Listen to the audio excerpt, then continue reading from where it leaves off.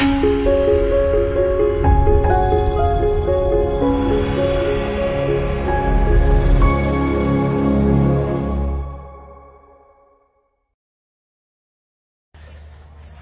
everyone, welcome to Campbellsville, Kentucky, and we're at a wedding today.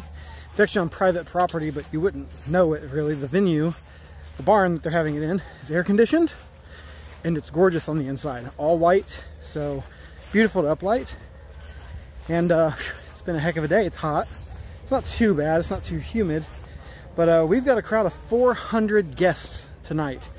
So you can bet that the dance floor is gonna be rocking even if you only get a quarter of the people out there, that's still 100 people on the dance floor. So you can bet we're gonna have a good time. Let's go in so I can show you what all I've done.